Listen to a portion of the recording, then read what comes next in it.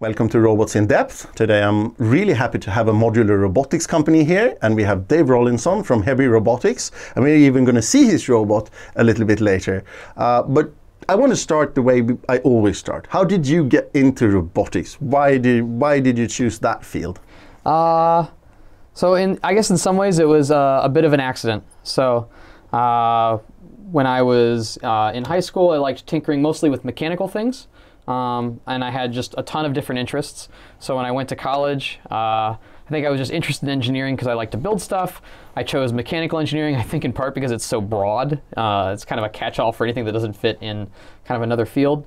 Uh, and the school I got into was Carnegie Mellon University in Pittsburgh. So I started being exposed to robotics there. While there, I got into uh, some internships, and I got uh, really into robotics on a practical level. I worked, interned, and then later worked full time at a company called Red Zone Robotics, and they made sewer inspection robots. So I got to get hands on and use robots that were both cutting edge uh, and then just extremely. Uh, extremely vital in terms of what they're doing, in terms of keeping infrastructure that nobody really thinks about. It's it's really uh, addressing a need that on the robotics end is so cutting edge, but in where you're at with sewers is so simple and so fundamental um, that you realize that uh, you know you're working on the next generation of tools to, to really just kind of keep bringing humanity forward. Mm. And also the fact that we've probably neglected, both because it's very hard and also it's very expensive, yeah. to maintain this infrastructure properly. So we have a big technical debt. It is. It's, it's actually failing on us. Yes. And, and we have no real plan on how to fix it fast enough. Yeah, it's, it's, a, it's a massive challenge. Um, for the United States, and it's actually a massive challenge to just try to start to learn from that. And in other places in the world where we're still trying to build that infrastructure, do it right. Mm. Yeah, because we really want to, to get it right uh, the first time there. Yeah. Um, so you got into robotics that way. Did and you studied for in at CMU? Mm-hmm. Hebi is a company that actually comes from Carnegie Mellon. Yeah, correct. So uh, Hebi Robotics came out of the lab that I kind of gravitated toward when I came back to CMU as a as a master's and then PhD student. Mm. Uh, so I came from Red Zone Robotics. I had this uh, kind of practical mechanical ex uh, experience from making sewer robots. Very challenging environment. Those robots has to be tough as nails. Tough right? as tough as nails, and really kind of a fascinating uh, lesson on the way people use tools too. Mm. So I've you know you spend weeks and weeks designing these parts. You view it as this robot, then you take it out into the field, and these guys just like abuse it because to them, and correctly so, it's just a tool. Mm. Um, mm. And you you realize that you know the way that you put things out in the world, they're going to get used in the way that other people see fit, and mm. so it's it's a real lesson of uh, watching how things get used in the real world, and so part of it is is the people, part of it's the situation, um, and then the the the onus is on you as an engineer to just make make it all work. Yeah, yeah, um, it has to be real world uh, ready, not yeah. PhD ready, right? E exactly, exactly. They're not going right. to baby it, and and it's also hard to exactly uh, estimate the world it's going to be in. So you have to over design it. So you you over design it, and you just have to plan ahead for getting out into the real world watching everything go wrong and then iterate, just mm. constantly be learning. Mm. Uh, and the the tool set that I needed uh, uh, went far beyond just the mechanical design. I needed to know more about the controls, more about the sensing, and and kind of the fast trends that are evolving there that I wanted to bring toward robotics. Mm. So I, I went toward the uh, the Snake Robot Lab with Professor Howie Choset at Carnegie Mellon uh, in large part because they're one of the labs at CMU that made their own hardware. Mm. Um, so as a, as a mechanical designer, I knew that was something where I could continue to develop those tools. Mm. Uh, and as a focus, coming back into PhD, I really wanted, and Howie advised,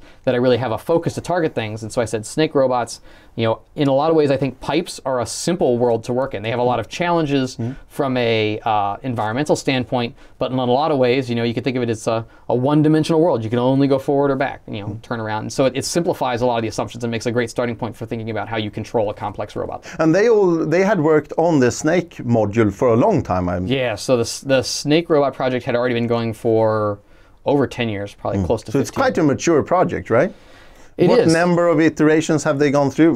Uh, is that hard to specify? It is. It is hard to specify. Well, so we have a whole bunch of them up on our wall.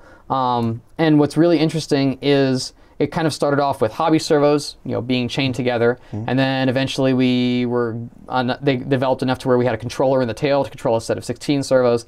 By the time I got to the lab in 2009, they had really done an iteration. Uh, where they had started to distribute the control into each module. So the focus had now started to go to more modularity, really just in the name of being able to maintain these things. Um, as in addition to being able to experiment with making robots shorter, longer. So for, for years and years, it was a mostly undergraduate project, and then every three months, every six months, they'd make a robot, mostly because they just get destroyed in the process of using them. They just weren't very reliable. Um, and so when I came, we were taking the step of moving from kind of hobby servo technology to uh, you know getting getting a, a better funded project where we could design a, a really solid module from the ground up. So metal housings, nicer Maxon motors, really better performance. And instead of going to an iteration every three months, all of a sudden that robot lasted about three and a half, four years, Yeah. and is actually still being used today. Very big steps. we don't even know how long it's going to last because Right. it's still used. Yeah, it's right? still it's it's still cranking.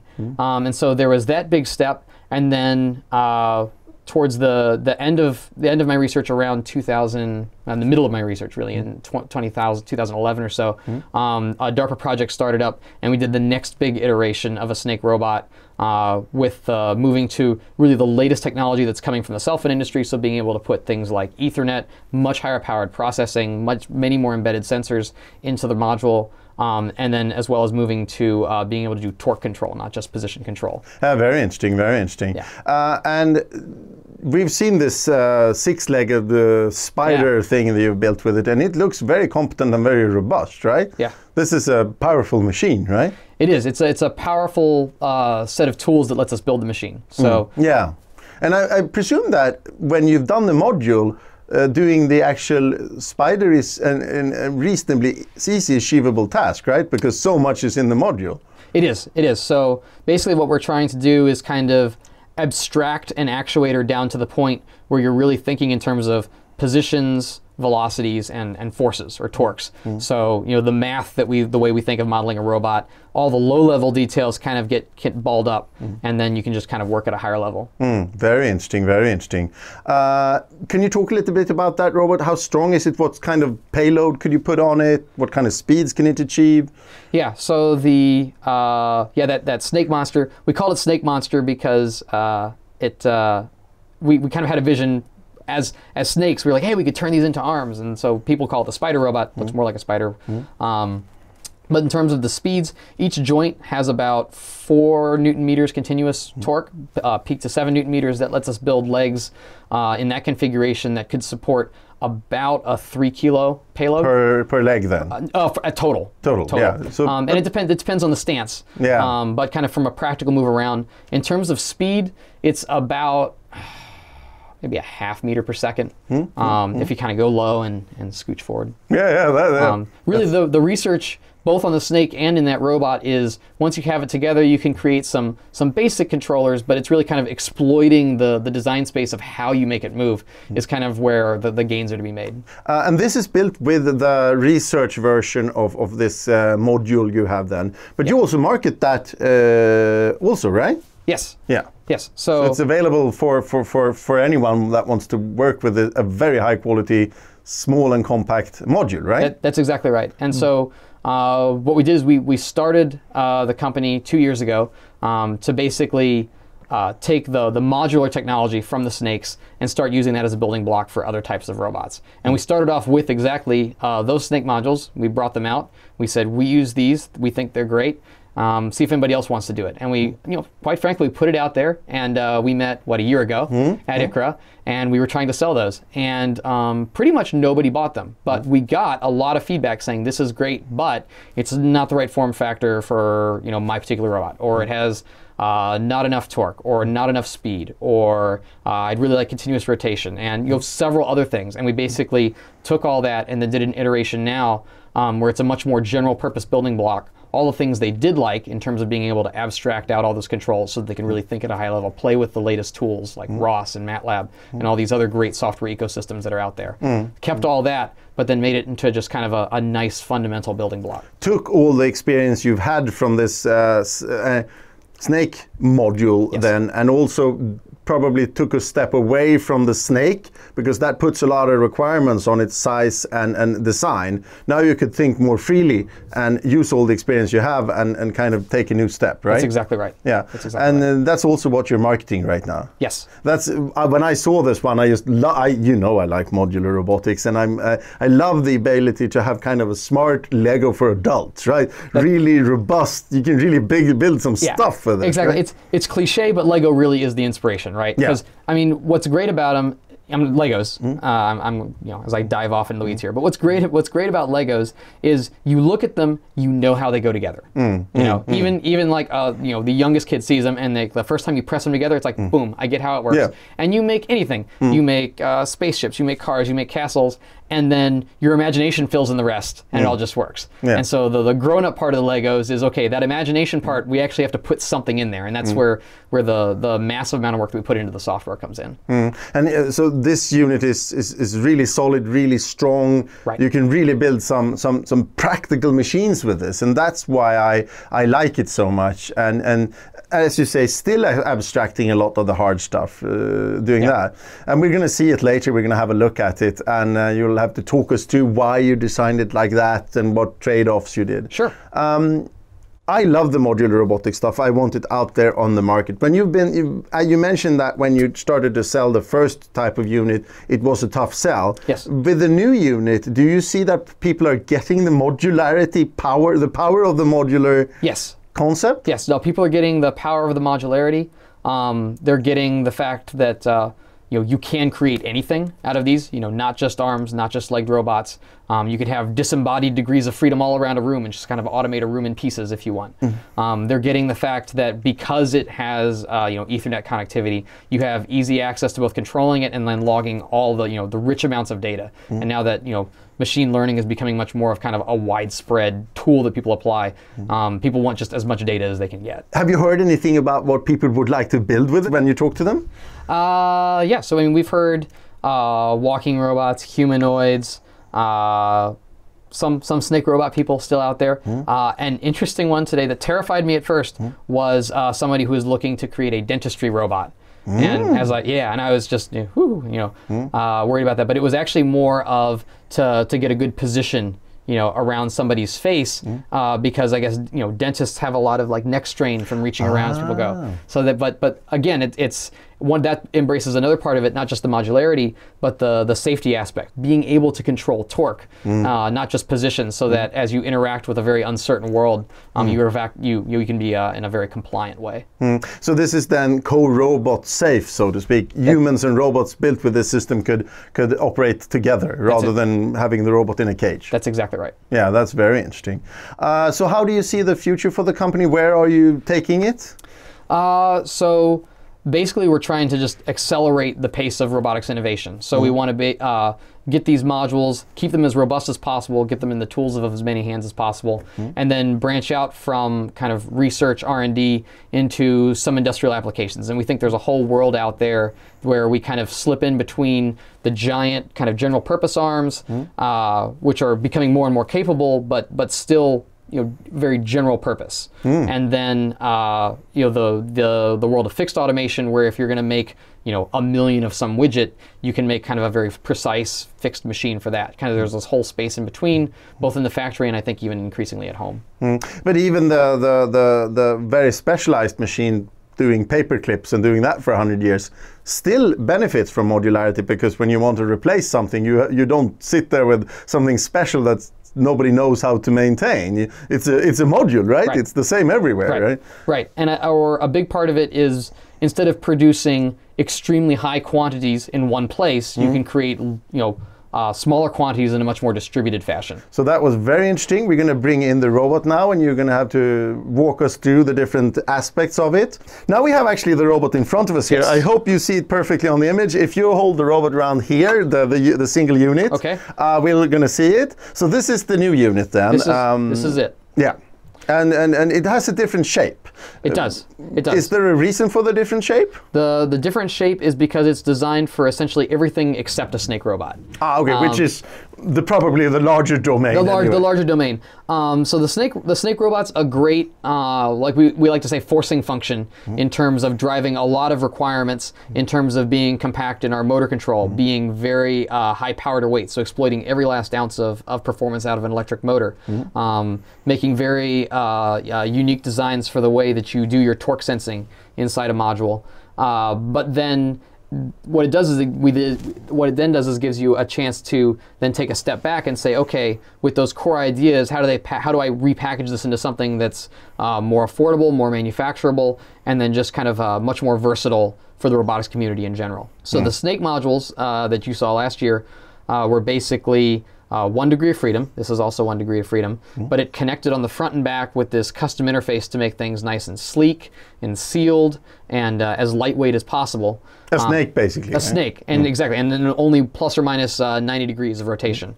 So uh, this keeps roughly the same, roughly the same uh, the size and and power class, uh, but we have continuous rotation at the output. Uh, we've moved to using extruded aluminum and, and flatter machined parts to make the manufacturable more easy. Uh, we've moved to using standard connections, just uh, RJ45s and uh, Molex MiniFit Junior for power. Um, we've given uh, a lot of thought to just the flat form factor to keep things out of the way, big bolt pattern to mount it nice and securely, and then a, a through bore so that all the wires, as you chain these things together, can pass through the center of rotation. So you can, uh, instead of having big service loops on the outside to limit your rotation, you can turn you know m- more than 360 degrees if you need. You can run pneumatic tubes through the middle if you need to put some sort of vacuum or, or gripper on the front of an arm. Um, all sorts of things. Mm, very cool. And I also think that this module is easier to produce, so it's quite a lot cheaper.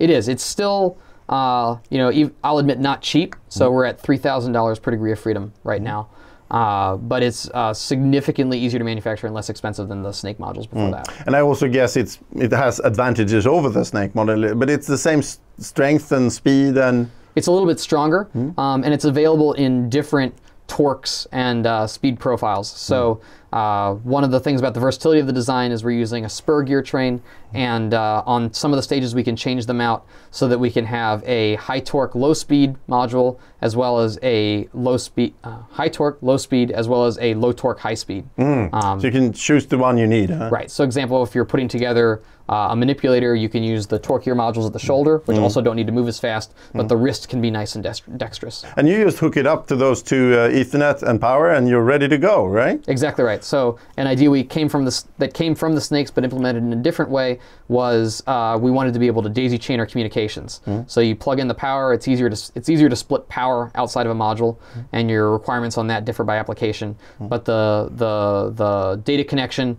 just daisy chains on through as much as you want, and just runs on a, a standard network hardware. And to build the, the, the solution we have in front of us here, it's a, a robotic arm. That's right. Uh, you just connect these together. Do you also manufacture and sell the brackets Yes. and stuff like that? Yep. So people can connect these however they want, but we do make these brackets that just bolt onto standard tubing.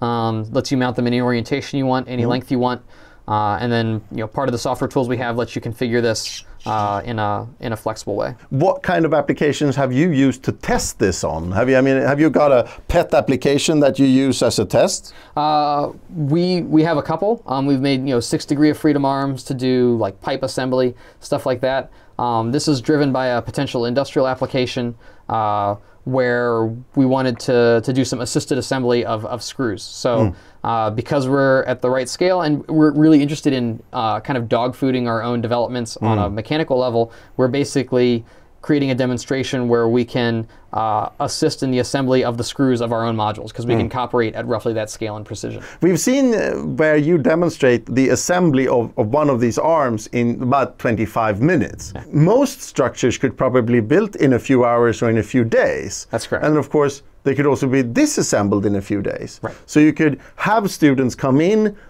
propose a project, build a prototype, test it, realize that oh, I probably have to go back to the math, disassemble the robot, somebody else comes in and uses the hardware, while this student is away f- working on the code, Yeah. comes in, reserves time like we did on the old mainframe, uh, reserves time, gets to build the second version of the robot, learns even more, and this at a speed with a threshold to entry and a speed that is unheard of before with any other system. That's exactly right. Yes. Yeah. Do you have any examples of stuff like that within your lab and with your with your customers? Absolutely. So in our lab, you know, the the modules that were developed for the snake and both these, um, they're being used to just make other robots just kind of as a fun experiment. We've had cases where people come in, take modules that were meant for the snake robot, build a biped, test balancing, take them back apart, put them right back on the shelf. That all happens in the space of a day. Like Yeah, you said, that's you're not amazing. you're not starting from scratch. Um, you know, what we really want is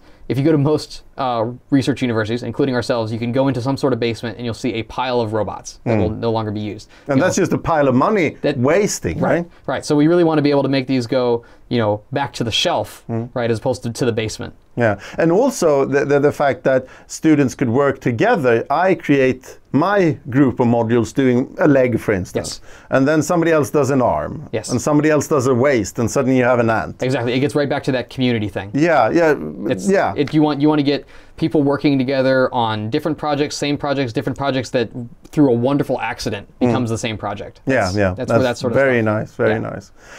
Thank you very much for taking the time to do an interview. It's been a pleasure to talk to you, and I'm just I know that this is the foundation for a new world. No, this has been fantastic. Thank you. Perfect. Thank you very much. This episode is sponsored by Aptomica. Everything you need in modular robotics. Or robots up close, what's going on in robotics, online and on the road. If you like this interview, don't forget to subscribe, follow us on Twitter, and subscribe to our email newsletter on robotsinDepth.com. You can also support the show on Patreon.